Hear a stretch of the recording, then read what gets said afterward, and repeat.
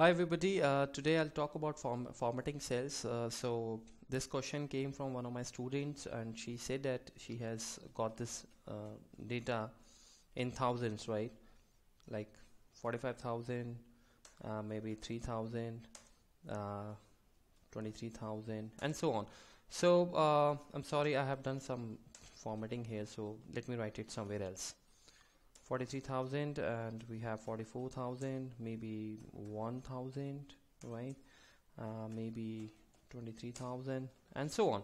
So uh, what they want is that they want to uh, release this zero right? They, they don't want this zero to be shown in the data and they instead want this 43 44 and for some reasons uh, it is already wherever I mean they want to have these changes uh, they say that it it is all you know already understood by the team that it is going to be uh, read as 43,000 44,000 1,000 and so on right? So there are a number of ways you can do the things through using the left function or maybe the length function.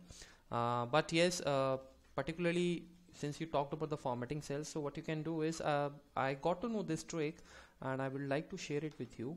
Um, so you go to this uh, formatting cells and uh, customize here and do one thing uh, in this general write this right? Zero and then this comma sign.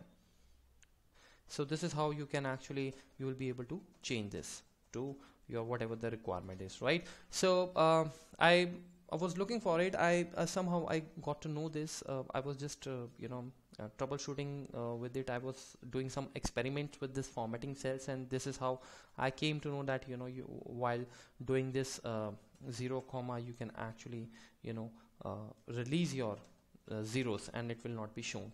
Uh, so that's it for now. I hope this has answered your question and um, so please do subscribe to my channel. Uh, uh, there are around 35 to 40 videos uh, up till now and you can watch them. Every every video I have tried to you know make as classy as I can because they uh, whenever I make the videos I always have this thing in my mind that my audience whenever uh, whosoever is watching it you know at the end of the day he, he that video can actually benefit them right? So always try to make unique videos uh, but the end at the end you know obviously uh, you are the one who actually decides it. So uh, with this uh, that's my email id if you're looking for some training let me know about it.